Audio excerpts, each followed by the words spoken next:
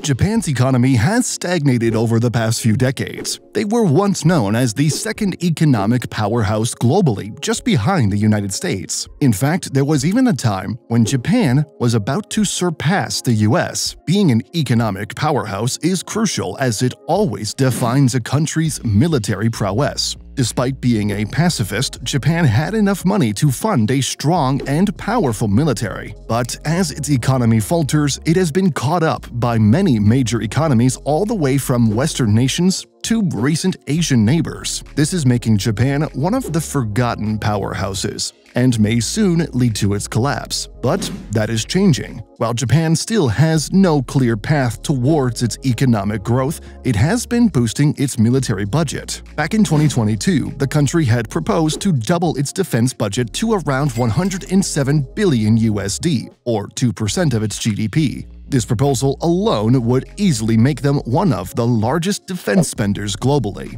However, over the next two years, Japan's defense budget would rise, but not by this much. They would still continue to invest into better military equipment, stronger fighter jets, and a more formidable navy. So, just how capable is this new military that Japan is now touting? Can it still stand as a powerhouse in Asia? Or is it being far outshadowed than that of China and other major Asian economies? Well, let's understand that by talking about what their military equipment is, both that is currently deployed and that is expected to come in the future. The military, known as the Japan Self-Defense Forces or JSDF, has three service branches the Japan Ground Self-Defense Force, the Japan Maritime Self-Defense Force, and the Japan Air Self-Defense Force. Each of these play a major role ranging from land forces to the air and navy forces. Let's first talk about the Ground Self-Defense Forces. The equipment deployed by the ground forces are mainly composed of battle tanks, infantry weapons, artillery, and other land-based equipment. To sum it all up first, Global Firepower says that Japan has about 518 tanks, 37,662 vehicles,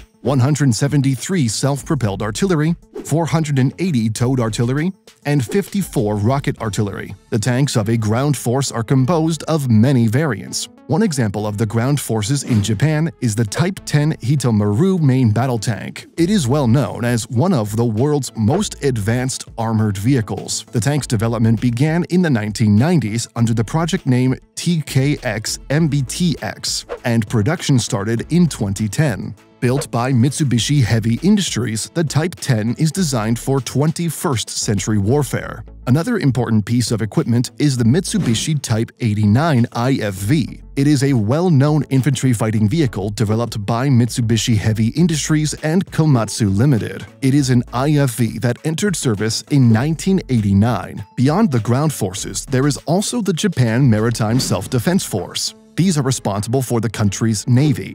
According to the Global Firepower, they have over 155 total assets, four of which are helicopter carriers, 36 are destroyers, 4 are frigates, 6 are corvettes, 23 are submarines, 6 patrol vessels, and 23 mine warfares. Let's first start with the submarine fleet. They have the Oyashio class. These are fairly old submarines, but some still call them deadly. They are a diesel-electric patrol submarine class. 11 were built between 1994 and 2006 by Kawasaki Shipbuilding and Mitsubishi Heavy Industries. These submarines are designed for both anti-submarine and anti-surface warfare, known for being among the quietest and largest in the JMSDF. The lead submarine, Oyashio, was laid down in 1994 launched in 1996 and commissioned in 1998. The final submarine, Mochishio, was commissioned in 2008. Another submarine is the Soryu class.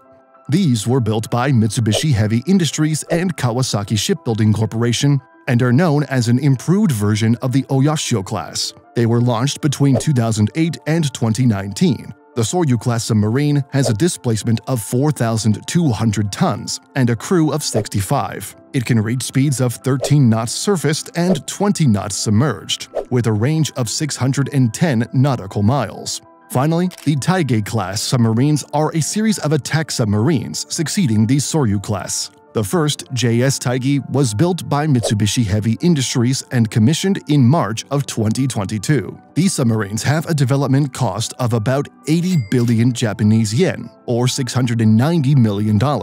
Besides submarines, the Maritime Force also deploys helicopter carriers. They have two variants, the Hyuga class and the Izumo class. The carriers were built by IHI Marine United at the Yokohama shipyard. These ships are designed like light aircraft carriers. They feature a through-deck layout to operate helicopters, primarily for anti-submarine missions. The Hyuga-class ships are 197 meters long displace 13,950 tons, and can carry up to 11 SH-60K helicopters. The other helicopter carrier, Izumo class, is Japan's largest surface combatant. These are built by Japan Marine United Corporation and are 248 meters long, with a displacement of 27,000 tons fully loaded. It can carry 970 personnel and up to 9 helicopters. Its flight deck accommodates 5 helicopters for simultaneous takeoff and landing, and it has space for 50 vehicles. In terms of destroyers, they have the Kongo class. These are guided missile destroyers built by Mitsubishi Heavy Industries and IHI Corporation.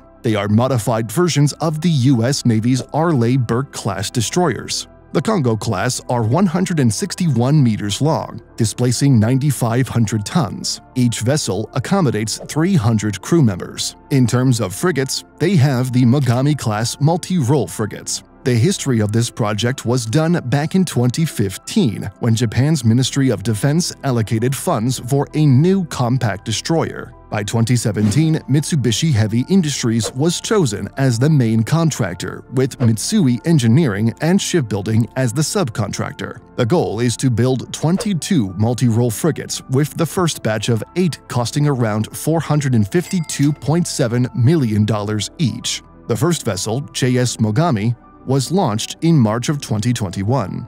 Then we also have the Japan Air Self-Defense Force.